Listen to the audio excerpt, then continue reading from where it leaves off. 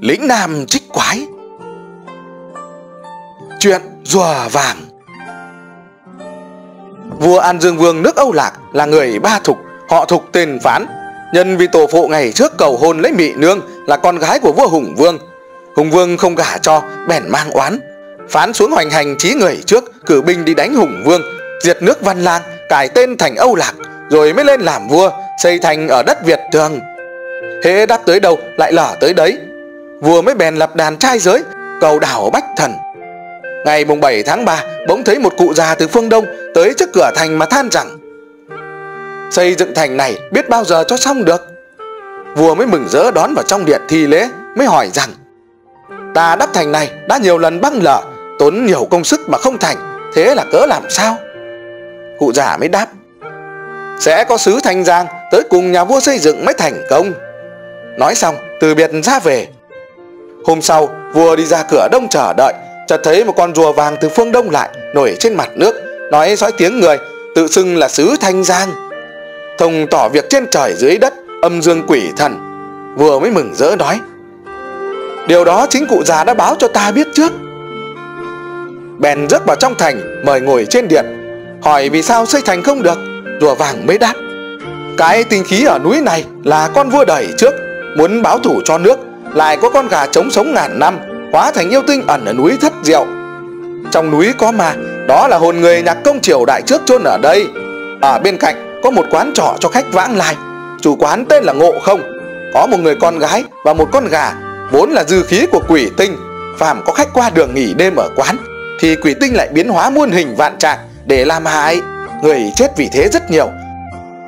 Này con gà trống trắng, lại lấy con gái chủ quán nếu giết được con gà trống thì chấn áp được quỷ tinh.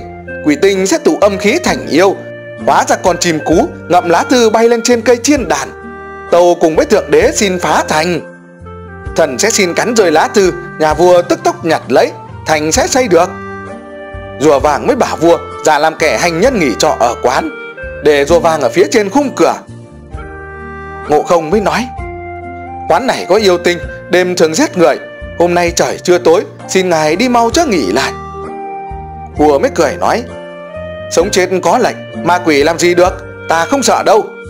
Bèn cứ nghỉ lại. Đến đêm, quỷ ở ngoài vào mới thét lớn, Kẻ nào ở đây? Sao chẳng mau mở cửa? Rùa vàng mới hét, Cứ đóng cửa thì mi định làm gì? Quỷ bèn biến hóa trăm hình vạn trạng, Muôn kế nghìn phương để hòng dọa nạt, Sau cùng cũng chẳng nổi. Đến lúc gà gáy sáng, Quỷ tinh tẩu tán Rùa vàng mới cùng vua đuổi theo, Tới núi thất diệu quỷ tinh thu hình biến mất. Vua bèn quay về quán. Sáng hôm sau, chủ quán sai người đến lượm xác khách trọ để chôn. Thấy vua vẫn cười nói hớn hở, bèn cùng chạy tới lạy mà nói rằng, ngài được như thế, tất là thánh nhân. Vậy xin ban thuốc thần để cứu sinh dân. Vua mới nói, nhà ngươi giết con gà trắng mà tế thần, quỷ tinh sẽ tan hết. Ngộ không mới y lời, đem gà trắng ra giết. Người con gái lập tức quay ra chết vua bèn sai đào ở núi thất diệu, lấy được nhiều nhạc khí cổ và xương cốt, đốt tan thành cho đem đổ xuống dòng sông. Trời mới gần tối, vua và rùa vàng lên núi việt. Thường thấy quỷ tinh đã biến thành con chim cú sáu chân, ngậm lá thư bay lên cây chiên đàn. Rùa vàng biến thành một con chuột đen theo sau, cắn vào chân cú, lá thư mới rơi xuống đất. Vua mới vội vàng nhặt lấy. Lá thư đã bị nhấm rách quá nửa. Từ đó, quỷ tinh bị diệt, thành xây nửa tháng thì xong thành đó rộng hơn ngàn trượng, xoắn như hình chôn ốc, cho nên gọi là loa thành, còn gọi là tư long thành. Người đời thường gọi là côn lôn thành, lấy lẽ rằng nó cao lắm. Rùa vàng ở lại 3 năm, rồi từ biệt ra về, vua mới cảm tạ nói. Nhờ ơn của thần, thành đã xây được, này nếu có giặc ngoài thì lấy gì mà chống? Rùa mới đáp rằng, vận nước suy thịnh, xã tắc an nguy đều do mệnh trời, vua có thể tu đức mà kéo dài thời vận xong vua ước muốn ta có tiếc chi? Bèn tháo vuốt đưa cho nhà vua mà nói, đem vật này làm nấy nỏ nhằm quân giặc mà bắn thì sẽ không lo gì nữa. Dứt lời mới trở về biển đông. Vua mới sai cao lỗ, làm lấy nỏ lấy vuốt làm nấy, gọi là linh quang kim quá thần cơ. Về sau triệu vương hà đà, cử binh nam sâm cùng với vua giao chiến.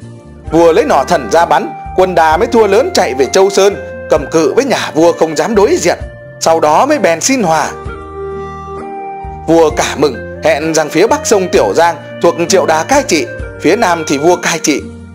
Không bao lâu Đà mới cầu hôn. Vua vô tình gả con gái là Mị Châu cho con trai Đà là Trọng Thủy. Trọng Thủy dỗ Mị Châu cho xem trộm nỏ thần, rồi mới ngầm làm một cái lấy nỏ khác thay vốt rùa vàng, nói dối là về phương Bắc thăm cha. Đà mới nói rằng Tình vợ chồng không thể lãng quên Nghĩa cha mẹ không thể dứt bỏ Ta này trở về thăm cha. Nếu như đến lúc hai nước thất hòa, Bắc Nam cách biệt, Ta lại tìm nạt Lấy gì làm dấu? Mị Châu mới đáp, Thiếp phận nữ nhi, Nếu gặp cảnh biệt lá thì đau đớn khôn xiết. Thiếp có áo gấm lồng ngỗng, Thường mặc bên mình, Đi đến đâu sẽ dứt lông mà rắc ở ngã ba đường Để làm dấu, Như vậy có thể cứu được nhau. Trọng Thủy mới mang lấy thần về nước. Đà được lấy cả mừng, Bèn cử binh sang đánh. Vua cậy có nỏ thần vẫn điềm nhân đánh cờ cười mà nói rằng, Đà không sợ nỏ thần sao? Quân đà mới tiến sát Vua cầm lấy nỏ, Thấy lấy thần đã mất, Bèn bỏ chạy Vua đặt Mỹ Châu ngồi đằng sau ngựa, Rồi cùng nhau chạy về phương Nam. Trọng Thủy nhận dấu lồng ngỗng mà đuổi Vua chạy tới bờ bể, Đường cùng, không có thuyền qua bèn kêu rằng, Trời hại ta Sứ Thanh Giang ở đâu, Mau lại cứu. Rùa vàng hiện lên mặt nước, thét lớn, kẻ ngồi sau ngựa chính là giặc đó vua bèn tuốt kiếm chém mị châu. Mị châu mới khấn rằng, thiếp là phận gái, nếu có lòng phản nghịch mưu hại lại cha, chết đi sẽ biến thành hạt bụi. Nếu một lòng trung hiếu mà bị người lừa dối, thì chết đi sẽ biến thành châu ngọc để tẩy sạch mỗi nhục thù. Mị châu chết ở bờ bể, máu chảy xuống nước, chai sò ăn phải đều biến thành hạt châu. Vua mới cầm sừng tê bảy tấc, rùa vàng rẽ nước, dẫn vua đi xuống bể. Đời mới truyền rằng, nơi đó là đất dạ sơn tổng cao xá phủ diễn châu. Quân đà kéo tới đấy, không thấy bóng vết gì, chỉ còn lại xác mị châu.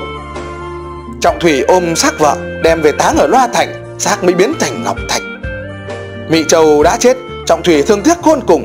Khi đi tắm tưởng đâu cũng thấy bóng dáng mị châu, bèn lao đầu xuống giếng mà chết. Người đời sau đó, mò ngọc ở biển đông lấy nước giếng này mà rửa, thì thấy trong sáng, nhân mới kiêng tên Mị Châu cho nên mới gọi Ngọc Minh Châu là Đại Cữu và Tiểu Cữu